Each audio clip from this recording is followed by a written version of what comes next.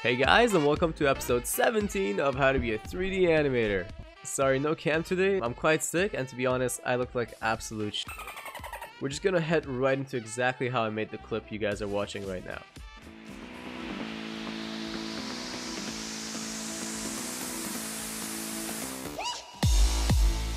First step was an idea. I actually made this piece on the weekend for the Anim Challenge group over at Facebook.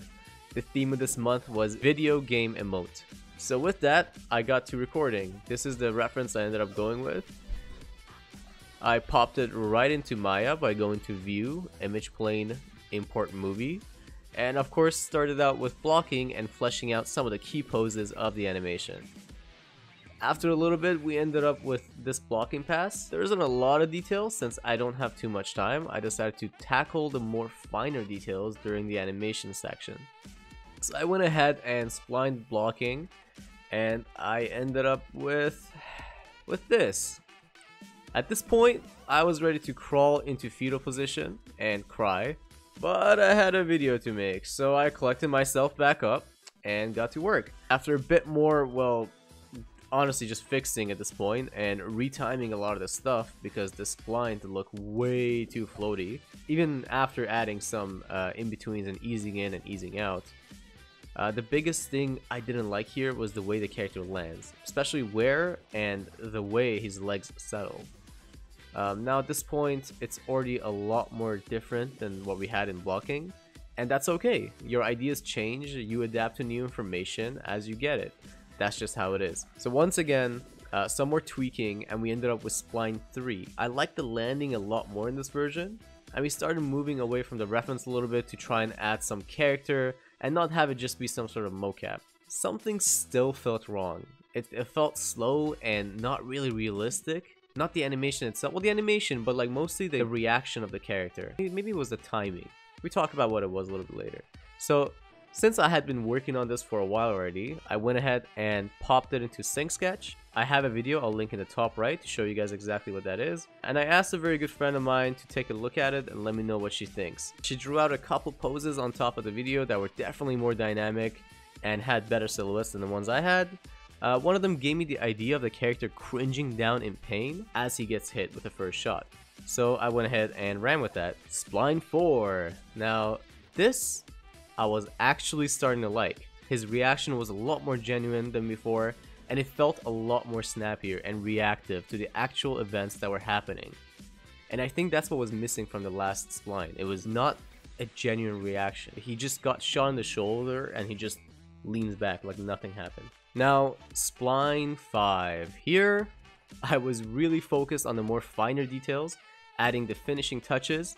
I went ahead and animated his satchel, and made sure the straps weren't intersecting. I fixed the head nudging weirdly when he hits the ground in the previous line, that was one of the things I didn't like, and a couple more secondary animations.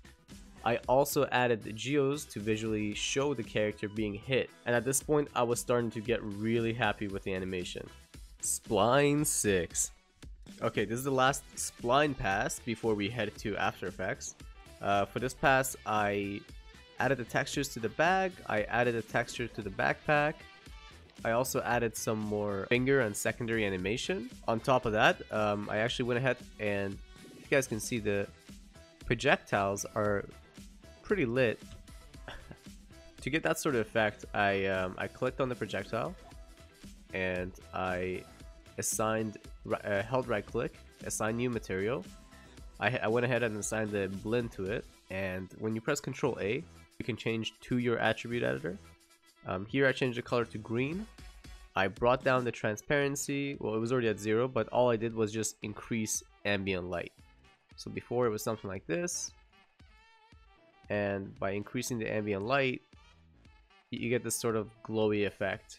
And another thing I did is actually the background, so let's just back out to that. So I went ahead and, where's our character? Our character's right there, that little thing right there what I did to get this background was just make a plane and I would go and select the edges would just double click on one line select the edges. And if you press B you can and, and if you hold B and you drag out and in you can control how far out you want to control the different vertices the different edges. So I just dragged it out a little bit and I would move it up and perhaps rotate it uh, to get this sort of uh, surface where it ramps upwards. So this way there's no hard shadows at all. And if you go back to this, as you can see there isn't really any hard shadows. There's a sort of a fade where it goes from um, slightly less saturated and darker to more saturated and slightly brighter. But aside from that, there's no hard edges, so there's not really hard on the eyes. Uh, you can just focus on the character. And to get this sort of texture for the background, I'm just gonna go ahead and select it. I assigned a new material again, this time at Lambert, I selected the color I want over here, uh, transparency and ambient all the way down, and all I did was just bring up incandescence. I don't actually know how to pronounce that. So I just brought up the incandescence um, to about 70%, 70, 80%. Uh, just bring it up to a point where you're comfortable with, where you like it, and that's it. And then I just play blasted it here. So now we reached After Effects. So I went ahead and popped my clip in. That would be this clip right here. So Spline 6.5. That's just my play blast. I put that in there. So I, I went ahead and downloaded this effect right here. And if you guys pay close attention, maybe I'll zoom in here. You'll be able to see it once the laser beam hits his shoulder. You can see that effect. And now let's just play it real time. There you go. And there's a smaller one on the right shoulder as well. I actually got these effects from Production Crate. This is a site that has hundreds upon hundreds of sound effects, visual effects. It has everything from cartoon to smoke, dust, which I did use actually. In the very end, I when the character falls down, I added a puff of smoke coming up. And I got that as well from Production Crate.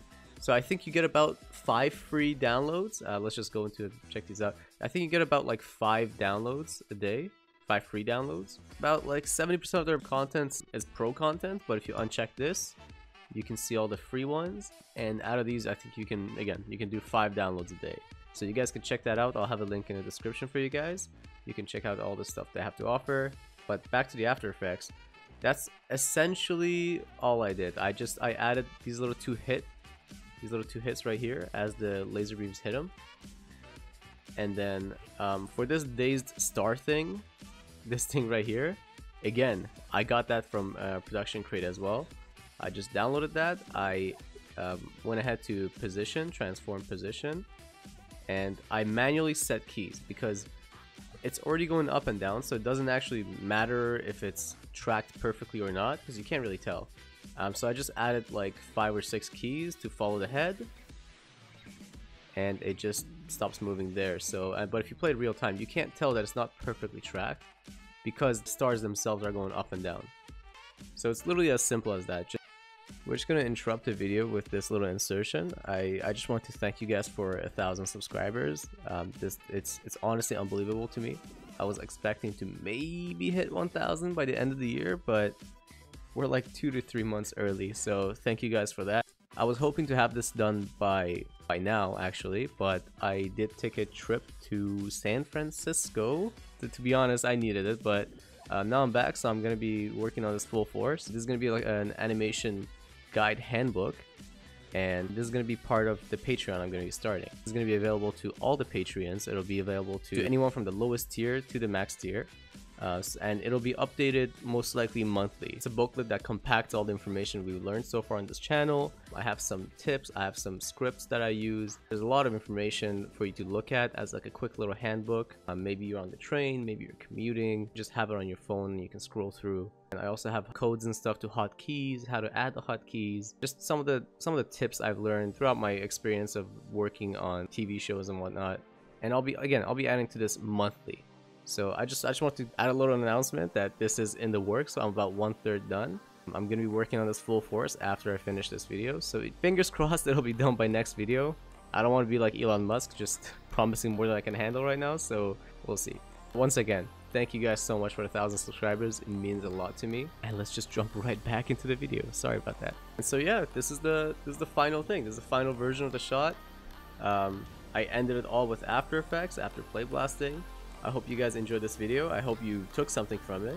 And if you did, make sure to smash that like button, hit the sub button, stay notified of future videos. I upload weekly. Happy animating, and I will see you guys in the next video.